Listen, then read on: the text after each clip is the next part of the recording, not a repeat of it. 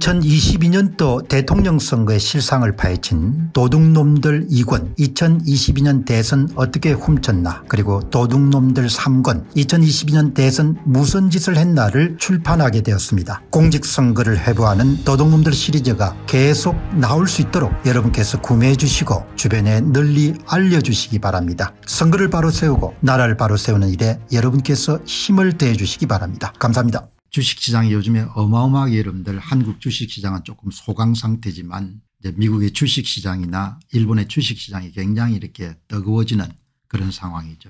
그래서 이제 어제 여러분이 보시다시피 최근에 이제 생성형 AI 칩의 거의 독점력을 갖고 있는 미국의 엔비디아라는 회사의 주가 상승률이 미국의 상장 기업인 S&P 500이나 그다음에 반도체 지수에 훨씬 더 능가하는 그런 것을 여러분들이 말씀을 드렸고 그 다음에 미국을 대표하는 Magnificent 예, 저 일곱 개 기업 마이크로소프트가 이런 한 3조 정도 되는데 3조 정도 되면 여러분들 천 원으로 잡으면 은 3천조고 우리 돈으로 마이크로소프트가 시장 가치가 1300원 정도로 잡으면 은 거의 4천조 가까운 그런 시장 가치를 갖고 있는 거네요. 3조 달러 애플 엔비디아 알파벳 아마존 메타, 테슬라 일곱 개 기업이 미국의 주가 상승을 견인하는 그런 기업들인데 이제 오늘 제가 이 내용을 좀 다루게 된 이유는 한국경제신문의 짧은 칼럼에 우리 안목을 좀 넓힐 수 있는 그런 칼럼이 하나 실렸네요. 유럽을 대표하는 그런 대표 기업 이거를 GRANOLAS라고 이렇게 표현하네요.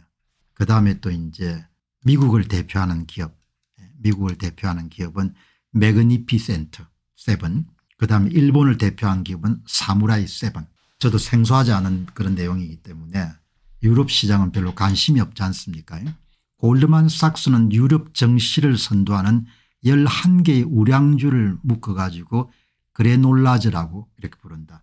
이 그레놀라즈는 주로 이제 오트밀에다가 여러분들 다양한 종류의 그런 견과류나 이런 것을 넣어가지고 미국인들의 아침 식사 대용으로 이렇게 먹는 그런 음식이죠. 그래 놀라즈 가장 많이 팔리는 오트밀 가운데 하나 한 상품이지 않습니까 이거를 본 이게 이제 여러 가지를 섞은 거죠. 이렇게 그래놀라즈라고 11개의 우량기업을 표현했는데 이 우량기업의 이제 안목을 넓히기 위해 한번 보시죠. 영국 제약사 GSK 스위스 제약사 로슈 네덜란드 반도체 장비업체 ASML 얼마 전에 이제 상장했죠. 스위스 식품기업 네슬레 스위스 제약사 노바티스 덴마크 제약사 노보노디스크 프랑스 화장품 기업 로레알과 명품업체 루이비통 LVMH죠. 영국 제약사 아스트라제네카 A 한참 이제 COVID가 유행할 때 백신 때문에 유명했죠. 독일 소프트웨어 기업 SAP 프랑스 제약사 사노피 등이 해당되는 종목이고 600개 상장 주식으로 구성된 범유럽 대표 주가 지수인 스톡스 유럽 600 지수에서 그래놀라즈 11개 종목이 차지하는 비중이 25%다. 어마어마하게 큰 비중을 차지하네. 최근 1년 동안에 스톡스 유럽 600 지수의 상승분의 50%를 그래놀라 주식이 담당했다. 미국도 지난 1년 동안 주가 상승을 견인한 업체들은 대부분 여러분들 대형주 Magnificent와 같은 그런 7개 기업들이 대부분 주가 상승을 견인하고 나머지 기업들은 그렇게 주가들이 많이 올라 안 올랐죠. 예, 특히 내린 기업도 많고 예, 이런 기업들이 이제 아마 유럽을 대표하는 그런 기업입니다. 근데 여기 예 여기 이렇게 되고 그 다음에 이제 보시게 되니까 그래놀라즈는 미국의 대장주 그룹의 상대적 개념으로 등장한 것인데 뭐 여러분이 잘 아시다시피 미국을 대표하는 기술주인 Magnificent Seven 애플 알파벳 아마존 메타 마이크로소프트 엔비디아 테슬라 등 7개 빅테크 기업을 가리킨다. 애플이 거의 단연코 1등 기업인데 최근에 주가가 많이 빠지면서 2등 기업으로 빠졌습니다. 대단하지 않습니까 주식 시가총액이 마이크로소프트사가 4천조 정도가 되니까 엄청난 거죠. 이렇게 기업 이런 좋은 기업들이 많이 나올 수 있도록 그렇게 하면 참 좋을 건데 아주 글을 아주 뭐 예, 평범한 글이지만 우리가 한번 볼만한 일본 도쿄 주식의 주도주는 사무라이 Seven S7 그렇게 이제 언론인들 다 이걸 만들죠. 도요타 스바루 미쓰비시 상사 도쿄 일렉트론 디스코 스크린 홀딩스 어드반테스트 등 반도체 장비 기업들로 이루어지고 있다. 유명한 영화가 이제 사무라이 Seven 구로사와 아키라 감동의 7인의 사무라이 그런 영화지 않습니까 그러니까 그래놀라스 놀라즈 그다음 Magnificent 사무라이 Seven Magnificent Seven 예, 이 기업들이 이제 세계 증시를 주도하는 그런 기업들입니다. 지금 좀 비싸죠. 예, 비싼데 오늘 한국경제신문에 좀 무게 있는 그런 칼럼을 계속 싣고 있는 한상춘 논술위원이 좋은 글을 썼네요. 거침없이 오르는 미국과 일본의 정권시장 어느 쪽이 먼저 꺾일까 결론은 일본이 먼저 꺾일 것이다 이렇게 이야기를 한 거죠. 예, 이 한상춘 논술위원이 이런 경기 전망이라든지 이런 부분에 거시정책에 대해서 굉장히 조예가 깊은 분인데 좀 비싸게 시장을 보내요.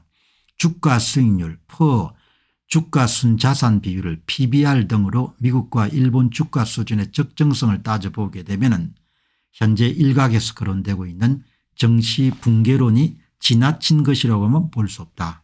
예.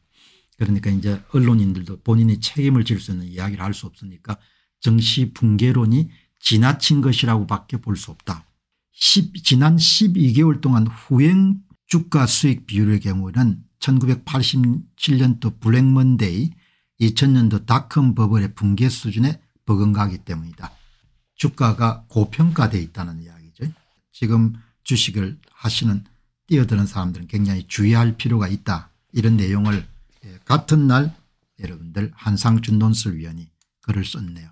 그래서 뭐 일본은 실적이 뒷받침되지 않고 있고 예, 미국은 실적이 뒷받침되지만 일본이 먼저 무너질 가능성이 높다. 그런 이야기를 했는데 그래서 이제 제가 궁금해 가지고 통상 주식시장이 과열인가 과열이 아닌가를 볼 때 그냥 직관적으로 볼 수 있는 것이 국내 총생산 GDP에 대해서 주식 시가총액이 얼마나 되는가라는 부분을 따지는 이 그래프가 있지 않습니까 워렌 버핏의 버핏 indicator라는 그런 자료죠. 이게 이제 시계열입니다. 1990년대 이게 1900, 예, 1982년부터 시작해 가지고 이게 2000년 닷컴 버블 예, 이렇게 해서 이제 최근에 이제 유동성이 많이 공급돼 가지고 2021년도 연말 지금 예, 수준인데 예, 지금 상당히 많이 고평가가 돼 있네요. 그러니까 한 200% 정도 되니까 두 배 정도 GDP의 두 배 정도 이게 이게 200%지 않습니까 이게 이제 역사적 평균치고 역사적 평균치에 비해서 국내 총생산에 비해 가지고 주식 시가총액이 상당히 많이 과대평가되어 있다. 그렇게 볼 수가 있는 거죠. 그렇게 보시면 좋을 것 같습니다.